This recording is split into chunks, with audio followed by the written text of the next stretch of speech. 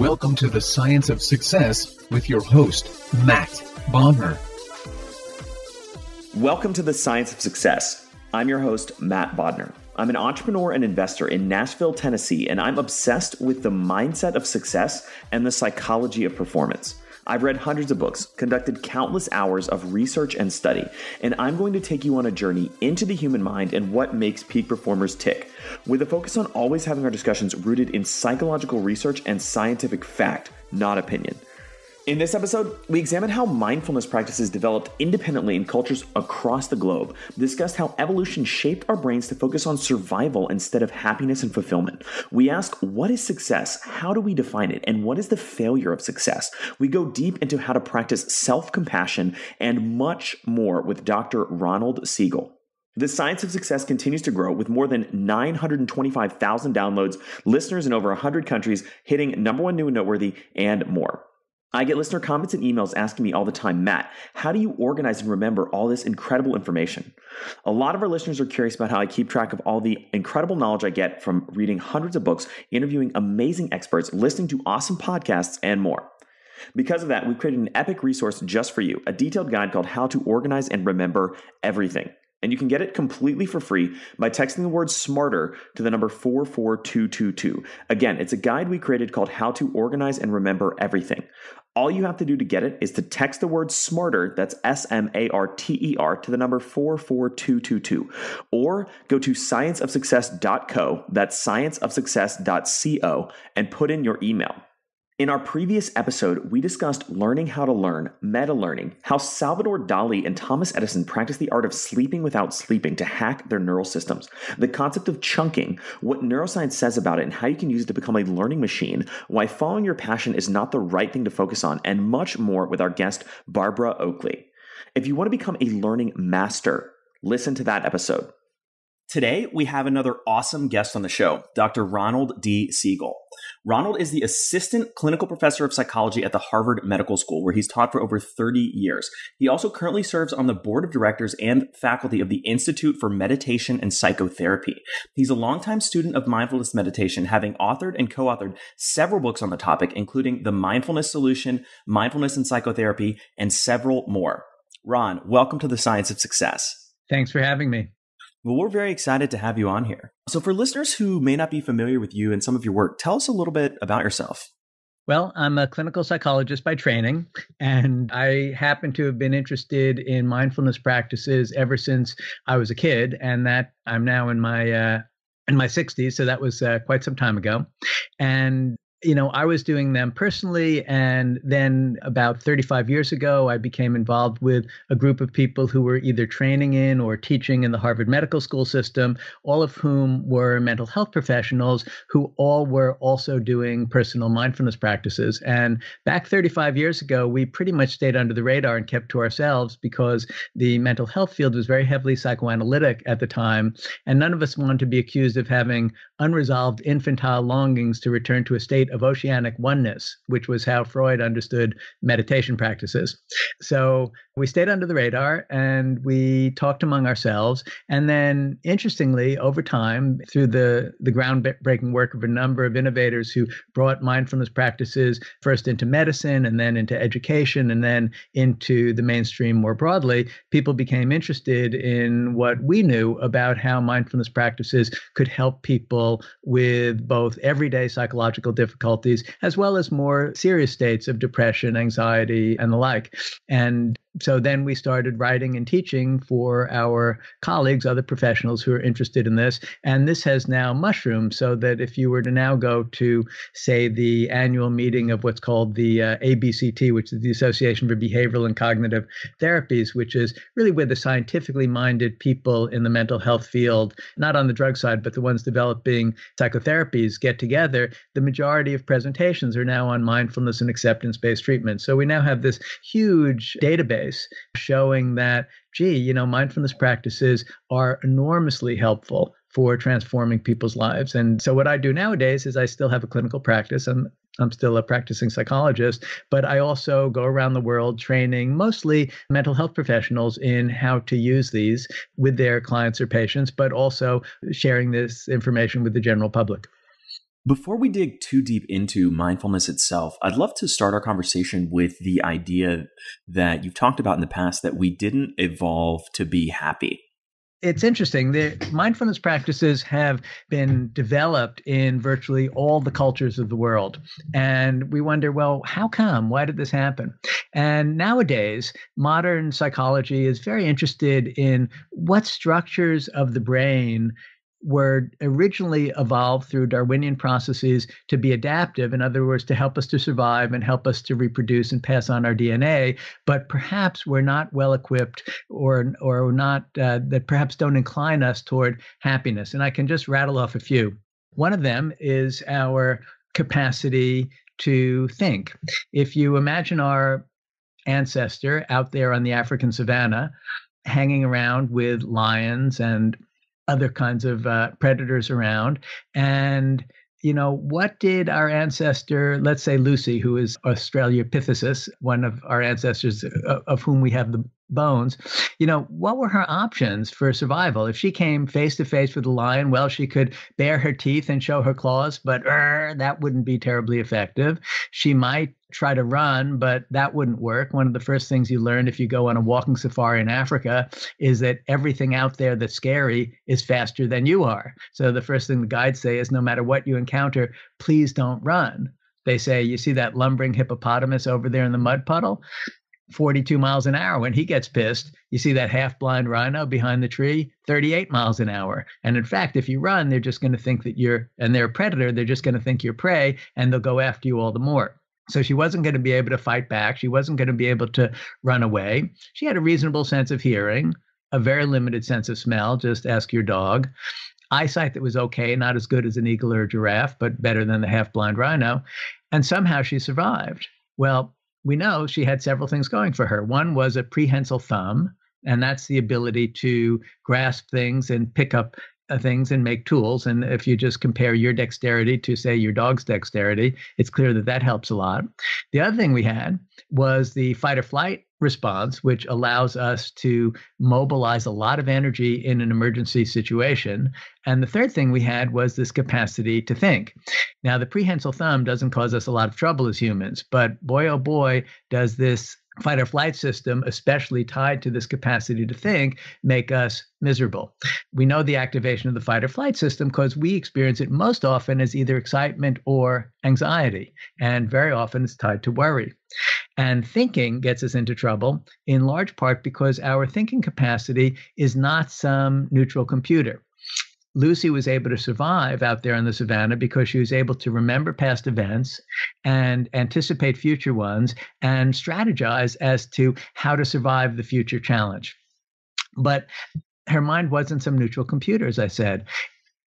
It was, as I have a friend, Rick Hanson, who wrote a wonderful book called The Buddha's Brain, in which he says that our mind evolved with a negativity bias that makes it like Velcro for bad events and Teflon for good ones. So when bad events happen, they stick. When good ones happen, they slide right off the pan. And this makes perfect sense. If you could imagine Lucy out there on the savannah, she could have made one of two types of errors, and we can call it a type 1 error and a type 2 error, roughly, if any of you are trained in science, the way we use those terms in scientific research. She could have been looking at, let's say, a set of bushes that had a vague beige shape behind it, and she could have thought, oh my God, it's a lion when it was really just a beige rock. And that would have been a type 1 error. Or she could have thought, eh, it's probably a beige rock when it was really a lion. That would be a type 2 error. And if you think about it, Lucy could have made countless type 1 errors and still lived for another day and passed on her DNA and, and the like. But if she made even one type 2 error, even one time mistaking thinking that the lion were just a rock, that's the end of her DNA line. So we develop brains that are exquisitely sensitive to danger, that remember every bad thing that happened. And we see this in everyday worries, we see this in everyday preoccupations. And we might imagine that back in Lucy's day, there were some happy hominids hanging around, holding hands, singing kumbaya, remembering the last dynamite sexual experience or luscious piece of fruit. They typically, however, were not our ancestors. Why? Because they died before they got to reproduce. Our ancestors were the ones who were going around saying, Oh my God, looks like a lion. Damn, could be a snake. Shit, is that a cliff? Etc. So we develop this brain that is constantly anticipating danger and remembering bad things that happen that is tied to this fight or flight system where we feel our you know palm sweating our heart racing all the different things that happen to us. And whether it's you know asking somebody out on a date that we're afraid won't like us going to the job interview thinking about what's going to happen to my finances you know worrying about our health and on worrying about what other people think of us and on and on and on we actually evolved to be tormented in this way. And uh, interestingly some people when they hear this they say well well well but i've heard that you know stress is really bad for your health. So that doesn't really make sense that we would have been evolved we would have evolved to be such stressed out beings. But if you think about it most of the stress related disorders you know everything from chronic headaches and stomach aches and the like to things like heart attacks they typically don't kill us until after we've reproduced. So the fact that we live a life stressed out and tormented in one way or another actually had very little effect very little negative effect on our capacity to reproduce. So natural selection didn't really care about it so much. So that, in a nutshell, is what we mean by we didn't evolve to be happy. Such an important concept for people to understand that our our brains were literally sculpted by evolution to focus on the negative, to focus on fears and threats and anything that might bring us perceived harm. Exactly. And and just to add one other thing, you know, the other thing that they they were the other form of harm that causes tremendous suffering for us today is our concern with social ranking. You know, humans hung out in primate troops of 25 to 50, and you were with the same group of 25 to 50 from birth until death. You know, new new members were being born and dying, but it was a pretty small club. And if we look at other primates that are organized that way, chimpanzees and others, we see that they spend a lot of their energy jockeying for dominance, you know, trying to figure out who's the alpha male, who's friends with the alpha male, who's supported by the alpha male, which females are going to be sexual partners to the more dominant males, and the like. And there's actually a fair amount of tension that goes into this. And it doesn't take a lot of observation looking at human beings to notice that oh my, we spend a lot of our energies jockeying for position. And the way this shows up in most of us in terms of our subjective experience is concerns about self esteem. You know, what do people think about me? How am I doing compared to the other guys or the other uh, the other women.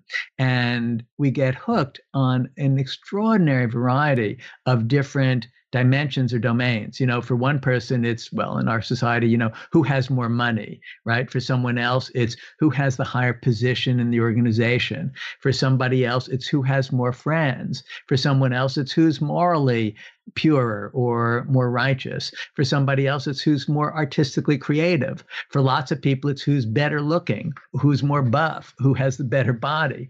And this goes you know who has the sexier spouse or girlfriend or boyfriend. And for older folks you know who has the better behaved or higher achieving kids. And this goes on and on and on the ways in which we're constantly comparing ourselves to one another you know, if, if, if our listeners would reflect on this for a moment, on the kind of comparisons that you make, and uh, we all make them, even though we tend to be embarrassed about making them, and we tend to uh, keep our thoughts to ourselves. You know, who among us always wins? Right? You know, we're always going up and down in these comparisons. I remember once I asked a uh, a group of therapists about that, and a guy raised his hand when I said, you know, who among you always wins? And I thought, you know, avoid him at lunch, right? Because the people who think they're always winning are kind of insufferable.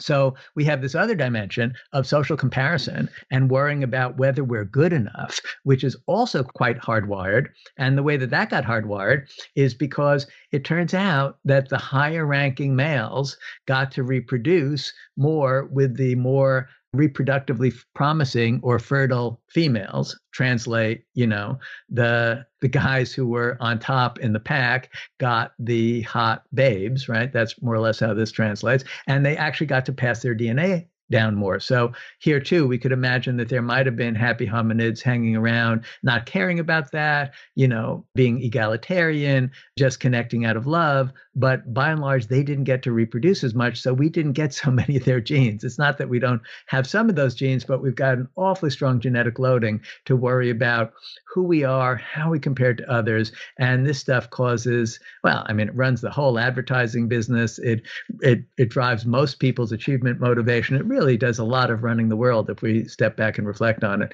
And it doesn't do it happily because we can never win consistently. And unless you live in Lake Wobegon, where, you know, all of the women are strong, the men are good looking, and all of the children are above average, you know, you're, you're always going to be above average and below average some of the time. And also, we change our comparison group so that if you're an Olympic athlete, your comparison group is the other guys going for the, you know, the bronze, the silver, and the gold. You're not thinking anymore, well, you know, I'm a better athlete than the other kids in high school. That's no longer relevant. So we continue to recalibrate, and that adds to our, our difficulties as well.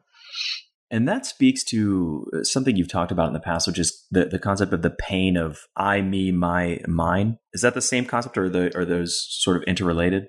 Yeah, absolutely. The and and there are a number of dimensions to this. One of the ways in which you know constant preoccupation with ourselves causes a lot of pain is simply this this kind of social comparison and the the utter impossibility of winning or staying on top consistently.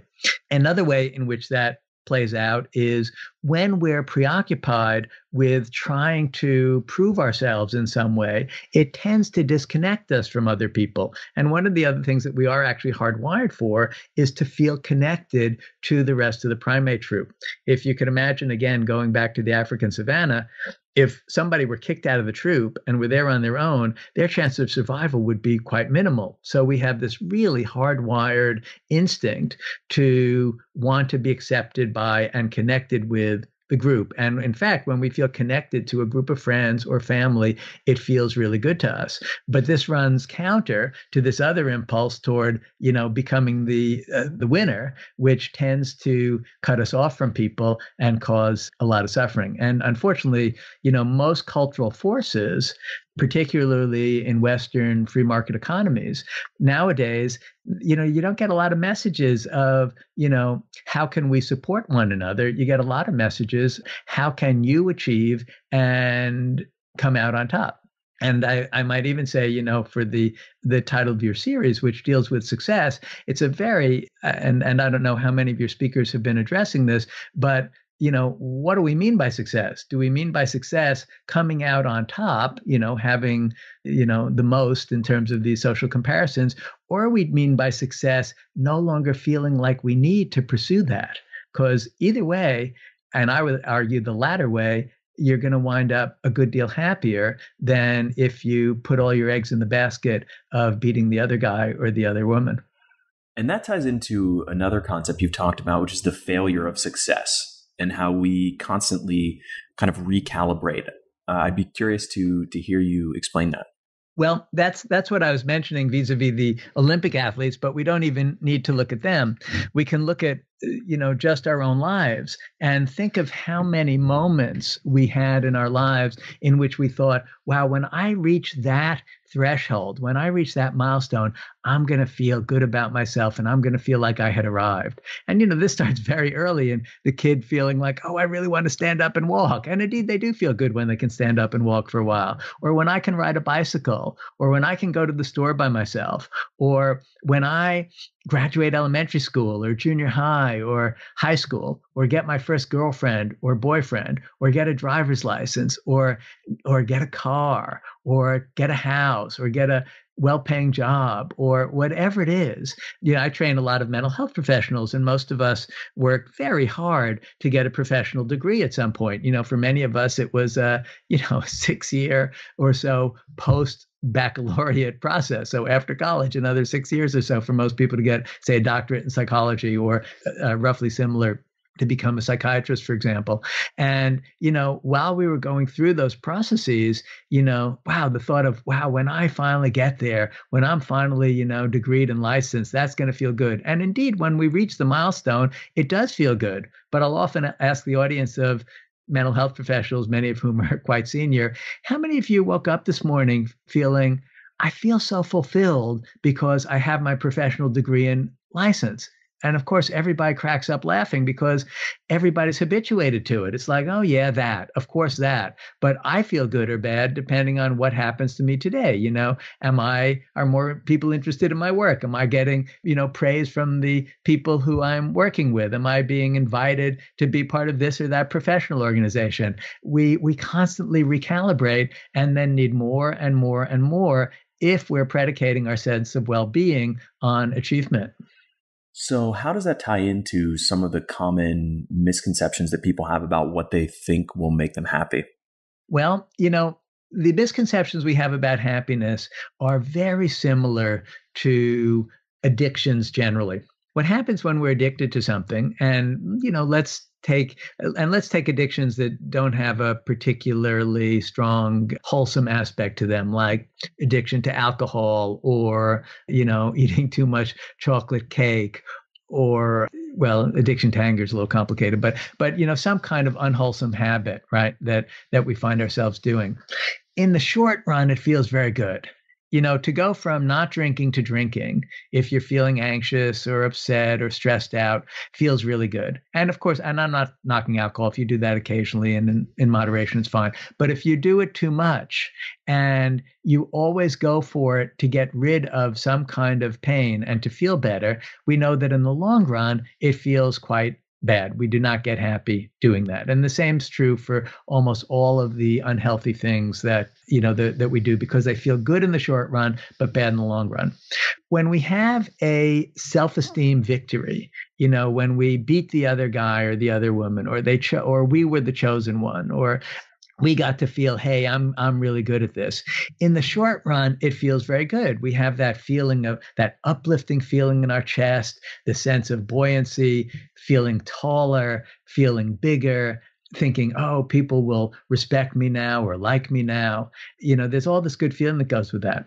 But the problem is if we attach to it we become addicted to that feeling and then trying to reproduce it makes us quite unhappy in the long run. So, as it turns out, what makes people far happier in the long run is finding ways to connect safely to others and to engage more fully in whatever they're doing in this moment, whether the thing we're doing in this moment seems something grand or special or seems quite ordinary. And that's actually where mindfulness practices come in as an antidote to these hardwired propensities toward toward suffering.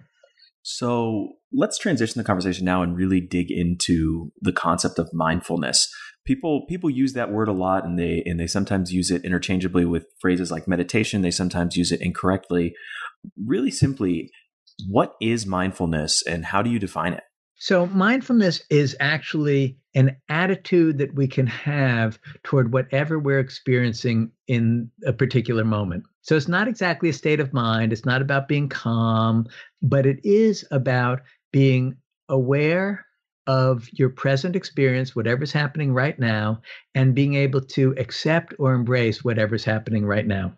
So, you know, be, because mindfulness practices are now being used so widely in psychotherapy, there have been a number of scales developed to measure mindfulness.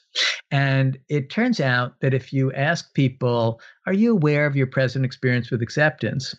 You run into this problem. It's uh, it's actually called the Dunning-Kruger effect, and a couple of psychologists at Cornell, I think they won a Nobel Prize for discovering this. And this has to do with the fact that across all sorts of human activities, our actual competence is inversely proportional to our perceived competence. So, actual competence is inversely proportional to perceived competence. What that means is we can think of this as the Homer Simpson effect. Homer is supremely confident when he goes out on his misadventures. It's just us in the audience thinking, doesn't look good. you know, people who think they're great at stuff typically aren't. People who have doubts typically are more skilled. So, what we see in terms of mindfulness is people who have spent years doing mindfulness practices, which are designed to cultivate mindfulness. If you ask them, Are you aware of your present experience with acceptance? They say, Well, it's a rare event. Sometimes I'm really present. But if you ask people who haven't been practicing, they'll say, oh, yeah, I'm aware all the time. Because one of the things that happens as we develop mindfulness is we develop what at Google they're now calling higher resolution consciousness. Think of it as more pixels per square centimeter, if you will. You develop the capacity to really notice what's going on in the mind moment by moment. And what we find when we notice that, when we develop that capacity, is we find that most of the time our minds are lost in the thought stream. We're thinking about the future, thinking about the past, and trying to strategize or angle how to get more pleasure, more pleasure, more pleasure in the future and avoid pain and discomfort in the future. And what we start to realize when we take up mindfulness practices is that there's an alternative, that instead of being lost in the thought stream, we can actually bring our attention moment to moment to what's happening in the mind or the body. And as a result, most mindfulness practices, things that are designed to develop mindfulness, to develop this attitude toward experience, involve picking a sensory object, something in the present moment, a sensation like the sensation of the breath in the body or like sounds or like colors or like taste but something that's a sensory experience.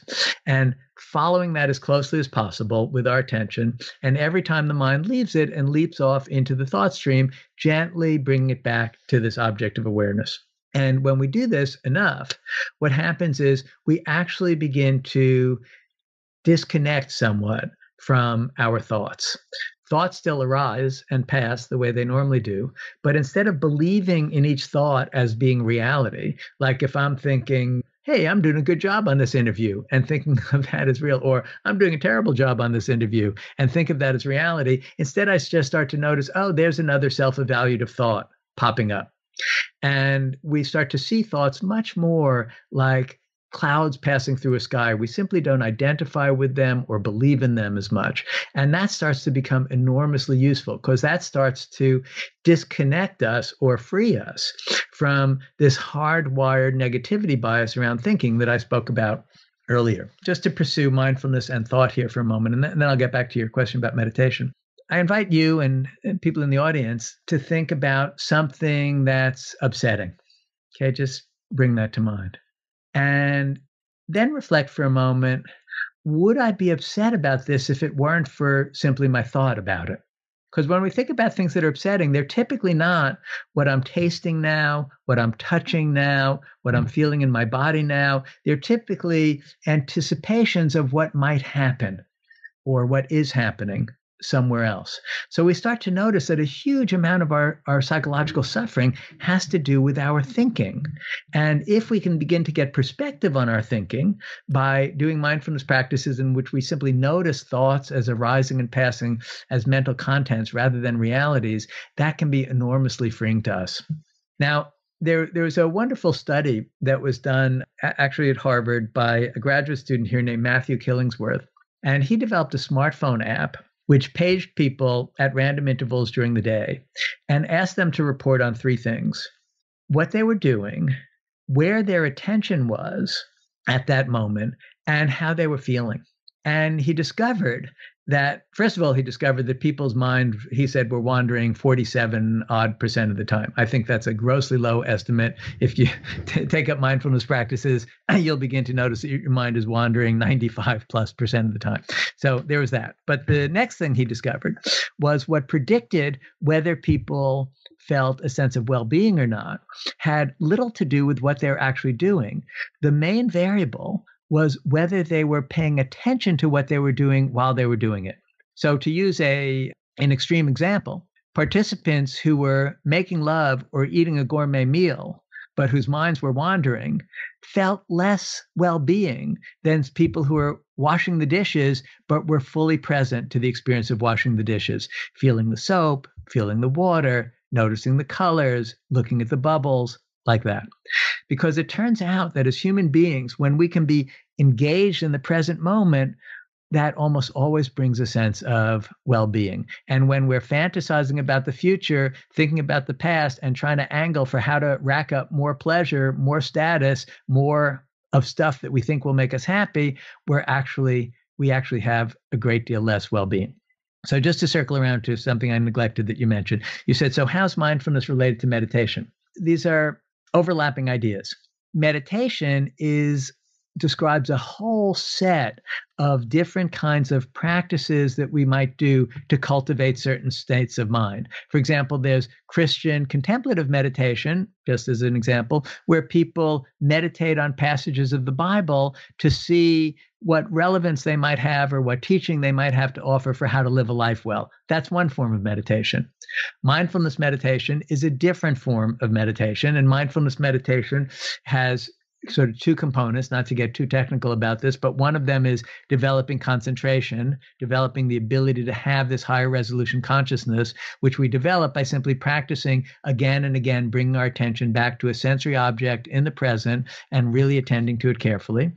And the other component that it, another component that it has is now called by neurobiologists open monitoring, which is once we develop a certain amount of t- attention, then we can kind of open the field of awareness to notice wherever the mind goes in each moment, but we're aware that the mind is jumping around to different objects. So in open monitoring, I might be starting to pay attention to my breath, but then I hear the birds sing, and then I notice the itch on my left thigh, and then I notice a thought coming about what I'm going to do next. And we sort of follow these different things out. And it, this it may be a little technical for people who are just beginning, but the upshot of this is we learn how to train the mind to be aware of what's happening and to be able to be accepting of it and to not be pushing away the unpleasant experiences and grasping at the pleasant ones. And it is that skill when we learn to actually accept what's going on moment to moment that really shifts us away from all of the hardwired propensities towards suffering to living a life that feels much fuller, much richer, in which we're really engaged moment to moment in what's happening, but we're not striving so much.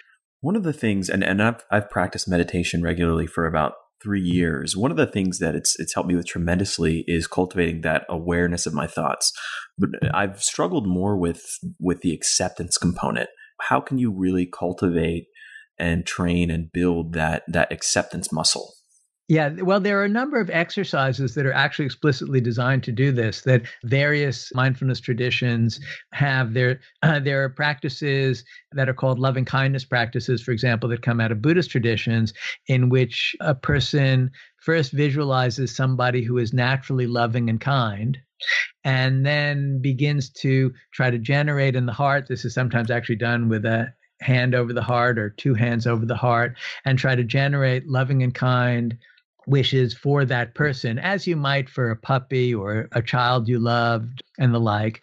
And then once you've got a little bit of that going and beginning to feel those feelings, actually generates the loving kindness feeling toward oneself. Because a lot of times, if the thing that's arising in the mind, if the mental content is painful, let's say it's a feeling of shame or a feeling of failure or concern about rejection or worry about our health or on and on and on, the different things that can that are painful to us. One of the ways that we can learn to accept it is by developing capac- the capacity to soothe ourselves. You know, just as if a kid gets hurt and a caring adult comes and scoops them up in their arms and, you know, says, Oh, it'll be okay, sweetheart simply being held in that way makes it much easier for the child to bear the pain.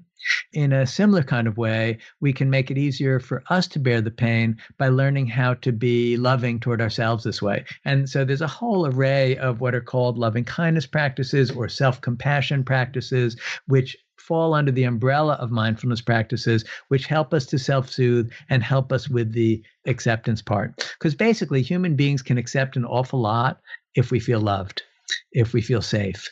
And we have difficulty accepting things when we feel like, oh, you know, we're going to be rejected for it and we feel all alone with it. And, you know, this applies to let's take something that happens all the time where we feel rejected or slighted in some way in a relationship. Maybe it's a love relationship that that isn't working out as we want to, or a relationship at work where our peers or our or our superior, you know, isn't looking is looking at us with shining eyes. And you know, it's always very painful to us. But if we can feel loved and held, like by a good friend or or a parent or a lover, and be able to feel that feeling of disappointment, we find that it's it's much easier to bear it and that if we open to it, it passes and transforms by itself and in fact sometimes we we learn things from it so so those kinds of practices can help with the acceptance dimension of mindfulness we also talked about, and you did a great job explaining how social rankings and, and how we get caught in these cycles of comparison. How does mindfulness help us uh, break out of those cycles? Well, it helps in a number of ways. One way is simply to notice how often it occurs. We can all do an exercise together right now that I've been experimenting with. Think for a moment of some thing or some attribute that you've got, some quality that you kind of rely on for your self esteem. Maybe it's that you're smart or you're athletic or you have friends or you're well liked or you're creative or you're a good writer or could be any, anything. Okay. We all have them, but just think of something that kind of makes you feel good about yourself. And then remember the last time that you got some feedback whether from others or from yourself, that validated it, that made you think, yeah, I really am smart. Yeah, I really am a cool dude. Yeah, I, I really am lovable. Or yeah, I really, you know, do a good job at my work or whatever it might be. And just just tune in for a moment of how it feels in your body to remember, or if you can't remember at time, just imagine it happening now, this feeling of success or validation. If you don't mind my asking, Matt, can you describe how you feel it? Where it is as a bodily sensation? I would say it's like a calmness in my upper body and maybe like a like a like a sort of a tingling energy in kind of my lower torso. Okay, cool. And for me, it's a kind of uplifting of the chest a little bit. I feel a little kind of taller or so when it happens. And now imagine for a moment or recall a time where the opposite happened, where, you know, either you got rejected or you felt you failed or you got feedback that you weren't so good at something or you tried something and you gave yourself feedback that you weren't so good at it and it felt like a dejected moment. And can you describe how that feels in the body? I'd say it's like a tightness in my chest and sort of a, a like a like a racing feeling up my the back and bottom of my spine kind of Okay, cool. And for me, it's a it's a little bit of a sinking feeling in my stomach, and my shoulders kind of roll forward. And it may be different for for our, our, our listeners. Everybody's different around this. So just identifying those feeling states in the body. One of the things you can do with mindfulness practice is as we're staying as much as possible moment by moment with noticing what's happening in the mind and in the body during the day. Notice each time that we get one of the inflation feelings and each time we get one of the deflation feelings. Now, this can be a little horrifying because many of us start to notice, oh my God, it's happening all day long. Virtually every conversation, you know, either comparing myself with somebody or thinking, oh, this is going well and they like me, or this isn't going so well, or, you know, we there's a lot of these ups and downs that are happening you know, I, I know, you know, not to put you on spot, but it, we, you know, it, it, had some technical difficulties, right, getting started. I'm imagining that during those few minutes where you were, you know, trying to get the computer to work, you know, there's a lot of this, you know, both anxious and not feeling so good about myself feelings, right, going on, and Definitely. then, you know, you, then you, it gets rolling and you start saying, oh, it's okay you know i'm in the saddle again i'm doing all right. And you know so I, am just using that as an example because it just happened between the two of us but these things are happening all day long for all of us. As we become more mindful we start to notice oh gosh yeah the ups and downs the ups and downs the ups and downs. Look at this. And the more we see it the less seriously we start to take it.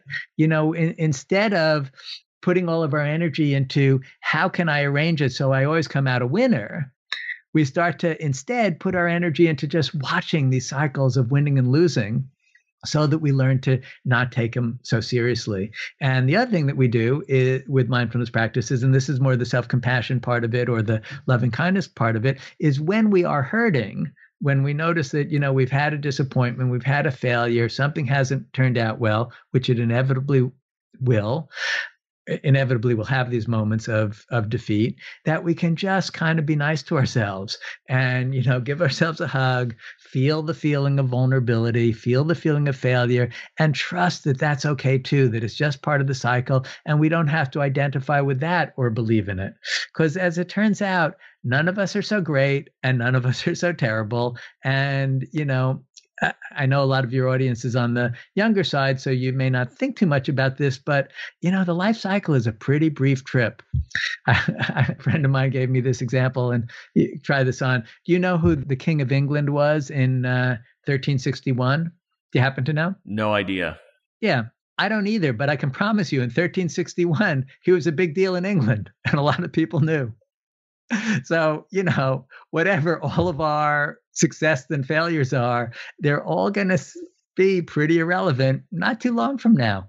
And, you know, I may be more acutely aware of that than your younger listeners because I'm in my 60s, but it doesn't take long before before we start to notice that it, it is really all a passing show and all of this energy that we put into you know trying to win at the game uh, winds up seeming a little silly at a certain point. And this is not to say, by the way, let, let me just make really clear that it's not a good idea to put your heart and energy into uh, some project that you're interested in or some achievement you want to make, have, or getting an advanced degree or the like.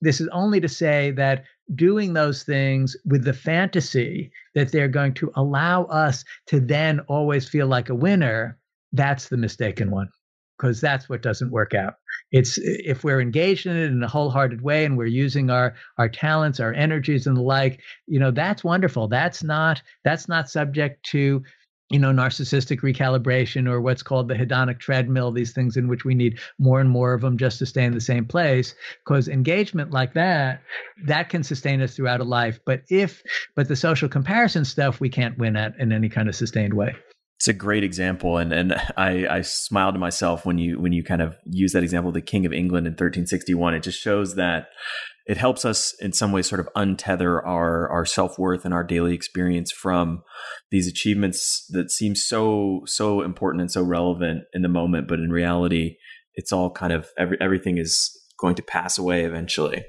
And that is one of the other insights that comes from mindfulness practice that when we take up these practices, we start to notice that all consciousness is this stream of experience and that the that you know whatever our experience was even your your and my experience and the listener's experience from 5 minutes ago that's already gone. That's gone over the waterfall of experience. Well i know you have uh, i know you have to go shortly. What is one kind of small piece of homework or a starting place that you would give listeners who want to really dive into mindfulness well, there are a number of resources. I mean, one, it's usually best to take up a mindfulness practice with a guided meditation.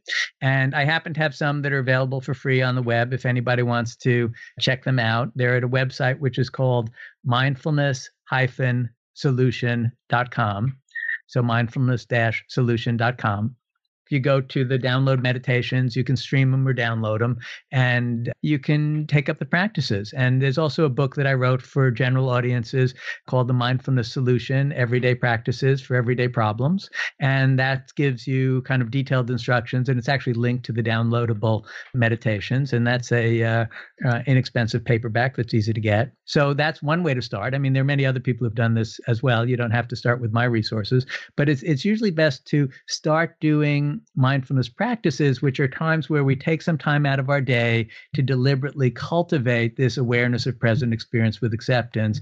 And then once we've taken some times out to do to do it the same way if you want to become physically fit you could go to the gym for a little bit every day or every other day and you develop some physical fitness and then during the intervening times you might decide to take the stairs instead of the elevator or uh, perhaps walk somewhere instead of getting on the bus or going in the car. In the same way, there are informal mindfulness practices that we can do in between our meditation sessions that help to bring us mind, our mind into the present, help us to attune to sensory reality, and help us to become less caught in believing in our thoughts. And those are all outlined in the Mindfulness Solution book. And where can people find you in the book online? Mindfulness-solution.com. And we'll make sure to include that in the show notes. Just go to scienceofsuccess.co and click the show notes button at the top. You can get all of that stuff. Well, Ron, thank you so much for being on the show. This was an amazing conversation. I know I learned a tremendous amount, and it's been an honor to have you as a guest. Thanks so much for having me. Thank you so much for listening to the Science of Success. Listeners like you are why we do this podcast. The emails and stories we receive from listeners around the globe bring us joy and fuel our mission to unleash human potential. I love hearing from listeners. If you want to reach out, share your story, or just say hi, be sure to shoot me an email. My email is matt at scienceofsuccess.co. That's M A T T at scienceofsuccess.co. I'd love to hear from you, and I read and respond to every listener email. The greatest compliment you can give us is a referral to a friend either live or online. If you've enjoyed this episode, please leave us an awesome review and subscribe on iTunes because that helps more and more people discover the science of success. I get a ton of listeners asking, Matt, how do you organize and remember all this information? Because of that, we've created an amazing free guide for all of our listeners. You can get it by texting the word smarter, that's S M A R T E R, to the number 44222 or by going to scienceofsuccess.co, that's scienceofsuccess.co, and joining our email list. If you want to get all this incredible information, links, transcripts, everything we've talked about, and much more, be sure to check out our show notes. Just go to scienceofsuccess.co, hit the show notes button at the top. Thanks again, and we'll see you on the next episode of The Science of Success.